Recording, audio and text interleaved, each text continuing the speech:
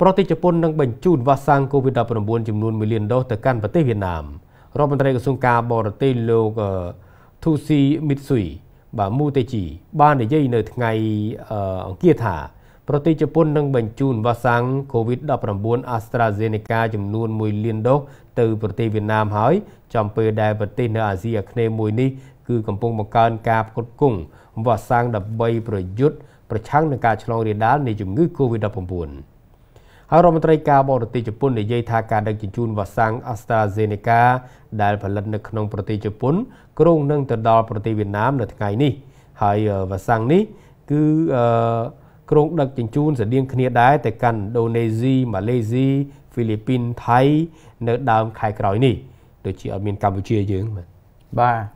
ទជាមួយគ្នានេះដែរយើងងាកទៅកាន់កោះតៃវ៉ាន់វិញលោកនាងបាទ កោះតៃវ៉ាន់គឺទើបតែទទួលបាននៅវ៉ាសាំង AstraZeneca ចំនួនជាង1លានដូសដែរពីប្រទេសជប៉ុនហើយដើម្បីប្រយុទ្ធប្រឆាំងនឹងការរីករាលដាល COVID-19 នៅដែនកោះមួយនេះដោយក្នុងនោះរដ្ឋាភិបាលកោះតៃវ៉ាន់បានអរគុណរដ្ឋាភិបាលជប៉ុនសម្រាប់ការពិចារណាជំនួយវ៉ាសាំងបន្ថែម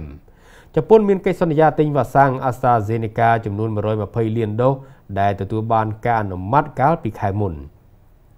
ប៉ុន្តែជប៉ុនគ្មានផែនការភ្លាមៗទេក្នុងការប្រើប្រាស់វ៉ាក់សាំងនេះនៅក្នុងប្រទេសជប៉ុនឡើយដោយសារតែបារម្ភពីកំណត់ឈាមក្រោយការប្រើប្រាស់ហើយប្រទេសជប៉ុនបានសន្យាផ្ដល់ចំនួន1000លានដុល្លារសហរដ្ឋអាមេរិកនិងវ៉ាក់សាំង30លានដូសដល់មជ្ឈមណ្ឌលកូវ៉ាដែលផ្ដល់វ៉ាក់សាំងដល់ប្រទេសដែលត្រូវការប៉ុន្តែការនាំចេញទៅប្រទេសវៀតណាមតៃវ៉ាន់និងប្រទេសជិតខាងអាស៊ីផ្សេងទៀតគឺកំពុងត្រូវបានធ្វើឡើងនៅខាងក្រៅកូវ៉ា ដើម្បីបង្កើនល្បឿននៃការចែកចាយ។បាទសូមជម្រាបជូនថានៅលើពិភពលោកយើងគឺកើតកូវីដអឺសំទោសបាទគឺនៅប្រទេសវៀតណាមគឺមានអ្នកឆ្លងសរុបនោះគឺដល់ទៅ12241នាក់ហើយក្នុងនោះគឺស្លាប់58នាក់បាទប្រទេសវៀតណាមណាបាទចាប់តាំងពីការផ្ទុះរាលដាលនៃជំងឺ Covid-19 បាទមានអ្នកឆ្លងសរុបបាទនេះគឺជារឿងមួយដែលអឺអឺប្រទេសផ្សេងផ្សេងរងចាំ បាទក៏ប៉ុន្តែវាប្លែកត្រង់ចេះឆាយាបាទ AstraZeneca នេះគឺមានវត្តមានដែលផលិតនៅប្រទេសជប៉ុនបាទអឺយូរមកហើយ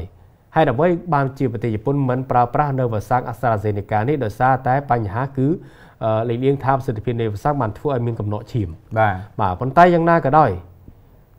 បងប្អូនប្រជាពលរដ្ឋខ្មែរយើងតែនៅជប៉ុនឯណោះឬក៏ជនជាតិជប៉ុនឯណោះ បាទដែលទទួលបានព័ត៌មានគឺមានវ៉ាក់សាំង2ដែលកំពុងតែចាក់ជូនបាទបាទ Pfizer និង Moderna បាទបាទប៉ុន្តែនាំចេញទៅវិញបាទនាំចេញទៅវិញក្នុងបាទដោយសាររដ្ឋអាមេរិកដែរលោកអាមេរិកអាមេរិកក៏អត់ចាក់ដែរ AstraZeneca នេះអត់ចាក់ដែរនឹងសុខចិត្តនាំចេញទៅក្រៅប្រទេសដែរបាទអានឹងយើងមិនដឹងថាសែនរបស់បាទអាស៊ីអឺរ៉ុបបណ្ដាប្រទេសវាខុសៗគ្នាមិនបានអត់ទទួលបាទក៏ពិតមិនមែនទេអាចអាភិច្រើនគឺទៅលើប្រសិទ្ធភាពនៃវ៉ាក់សាំង បាទដោយយល់ថាងប្រទេសសម្ព័ន្ធអាមេរិកតែប្រើវ៉ាក់សាំងផ្សេងទៅអីបាទបាទវ៉ាក់សាំងនេះយើងទិញទុកមែនប៉ុន្តែយើងទទួលទុកមែនឬក៏យ៉ាងណាក៏ដោយក្នុងរូបភាពបែបណាក៏ដោយយើងគួរតែក្នុងនាមជាប្រទេសដែលមានសេដ្ឋកិច្ចរីកលូតលាស់បាទទី2ទី3ពិភពលោកយើងចែកជូនទៅដល់ប្រទេសក្រីក្រតាមរយៈកូវ៉ាអីចឹងទៅបាទនេះគឺជារឿងមួយណាបាទខ្ញុំឆ្ងល់ថាចេះលោកហាមរិនឆ្ងល់ត្រង់ថាអឺខ្លួនឯងមានផលិតវ៉ាក់សាំងនឹងបាន ប៉ុន្តែខ្លួនឯងប្រើសុខចិត្តឲ្យប្រទេសដទៃប្រើប៉ុន្តែប្រទេសដទៃខ្លះទៀតប្រើទៅវាអត់មានបញ្ហាអីទេអារឿងកំណត់ឈាមរឿងអីហ្នឹងណាបាទអត់មានប៉ុន្តែប្រទេសខ្លះទៀតចាក់ទៅមានហ្មងបាទអាត្រង់ហ្នឹងវាចង់បញ្ជាក់ថាមកពីកតាសែនរបស់ប្រជាជននៅប្រទេសនីមួយៗវាខុសគ្នាឬក៏មិនបានវាទៅចឹងបាទតែយ៉ាងណាក៏ដោយបាទវត្តមានឬក៏វ៉ាក់សាំង COVID-19 នេះ ឥឡូវនេះគឺមានការទទួលស្គាល់ពី WHO ហើយប្រើប្រាស់បានទូទាំងសកលគេហៅថាគឺជាសកលណាបាទទូលំទូលាយណាស់ពីប្រសិទ្ធភាពនៃវ៉ាក់សាំង